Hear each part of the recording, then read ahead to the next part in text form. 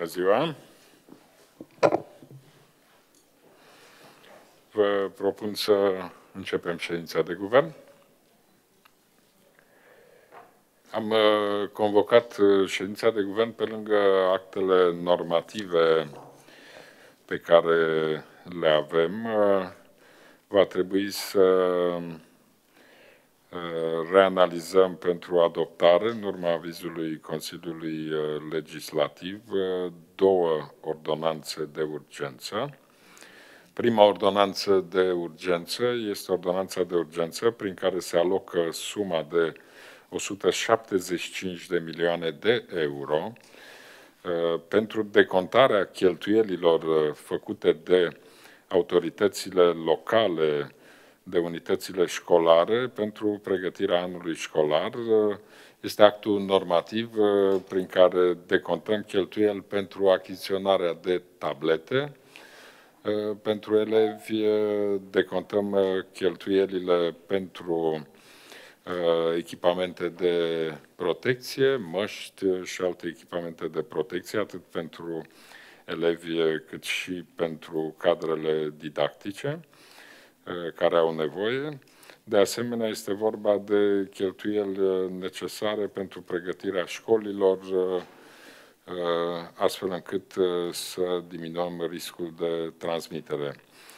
Aici solicit Secretariatului General transmiterea de urgență la monitor oficial să apară în cursul zilei de astăzi. De asemenea, doamna vicepremier, vă solicit să avem o ședință cu reprezentanții asociațiilor autorităților locale, cu uh, Asociația Municipiilor, Orașelor, Comunelor, împreună cu Ministerul Educației, Ministerul Sănătății, Ministerul uh, Lucrărilor Publice, Dezvoltării și Administrației pentru a stabili în uh, detaliu măsurile care trebuie luate pentru pregătirea anului uh, școlar.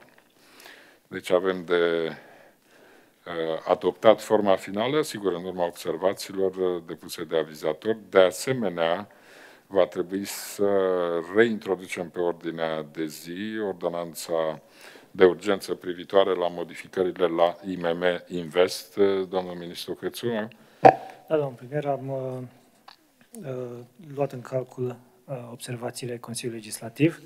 Deci, și practic, ordonanța cerem... se referă la creșterea plafonului de la 15 miliarde la 20, la 20 de, miliarde. de miliarde. Da, uh, sunt uh, câteva modificări importante. Deci, creșterea plafonului la 15 la 20 de miliarde, implementarea unei perioade standard de subvenționare a dobânzii de 8 luni, de la data acordării creditului, pentru că uh, inițial se duceau până la sfârșitul anului și atunci este o perioadă standard uh, de 8 luni pentru toți cei care beneficiază de acest program. Uh, crearea unei posibilități ca micro și aici a fost o cerere care vine de la micro și a întreprinderilor mici pentru accesarea creditelor linii de credit pentru finanțarea capitalului de lucru în valori mai mari, de până la 5 milioane. Până acum de se până la 5 milioane, nu pe plafonul de 1 milion. Am și înțeles. am eliminat cerința prin care beneficiarii programului se obligau să, să nu disponibilizeze personal existent până la data de 31 decembrie 2020. Deci programul deci devine ce ce mai flexibil. solicit după adoptare transmiterea de urgență la monitor oficial pentru intrarea în vigoare. Ministerul Agriculturii ne-am angajat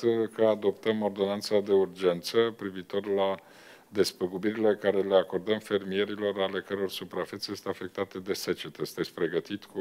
Da, domnule prim-ministru, suntem pregătiți. Uh, eu vă rog uh, să introducem pe lista suplimentară uh, proiectul de ordonanță de urgență pentru instituirea unei scheme de ajutor de stat acordat producătorilor agricoli care au înființat culturi în toamna anului 2019 și afectate de seceta pedologică, sub rezerva obținerii avizului de acele. Deci, odată cu adoptarea, puteți începe efectuarea plăților. Aici ne-am angajat în că moment, începând cu data de 1 septembrie dăm drumul la plăți. În momentul în care o, un proiectul de ordonanță va fi publicat, o ordonanță de urgență va fi publicat în monitor oficial, sunt 10 zile calendaristice în care fermierii se vor înscrie, vor depune cereri la APIA.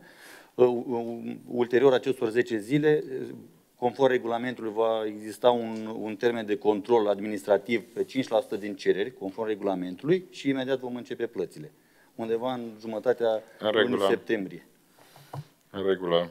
Scurtați cât mai mult procedurile și nu uh, așteptați uh, pe evaluare. Faceți rapid uh, test. verificările prin uh, sondaj, că nu e mare lucru asta, le transmiteți verificările spre serviciile deconcentrate. Da? În regulă.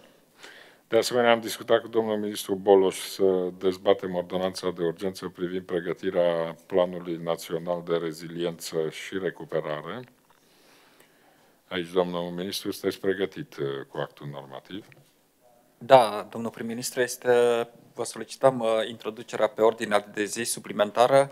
Am primit observațiile din partea tuturor uh, avizatorilor. Uh, rugămintea este să ne dea și avizul original pentru ca să putem parcurge procedura legală pentru uh, aprobare.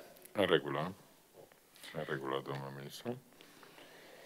Uh, Domnul ministru Popescu, ați uh, transmis către Comisia Europeană planul de restructurare pentru complexul energetic Oltenia? Da, domnul prim-ministru, am semnat, cred că în jurul orei 12, o cerere către Consiliul Concurenței pentru a retrimite mai departe prin Consiliul Concurenței să Da, fac da, toate prin Consiliul demersurile către, Concurenței. către uh, și evident dacă cu rugămintea să acceptă o întârziere de 1-2 zile dacă nu ajunge la timp util, ținând cont de faptul că astăzi la ora 12 am, am semnat. Deci e o chestiune de, de o problemă de ordin tehnic, pur și simplu. În regulă. Domnul ministru Tătaru, să luați toate măsurile pentru urgentarea procedurii de achiziție și nu uitați, fiți pregătit uh, pentru procedura de achiziție uh, pentru alegeri. Da, în acest moment avem o evaluare făcută pentru alegeri La cât ați evaluat? uh, la 12 milioane de lei. 12 milioane de lei. Aveți bani în buget prevăzuți, nu? E, Acum să vedem dacă nu... Păi se mai- verificați că dacă nu, va trebui să alocăm din uh, fondul de rezervă și trebuie pregătită hotărârea de guvern, uh, pentru că altfel nu puteți lansa procedura. O avem pregătită și Și pregătiți cu mai multă meticulozitate procedura, aia trebuie să deruleze extrem de rapid. da,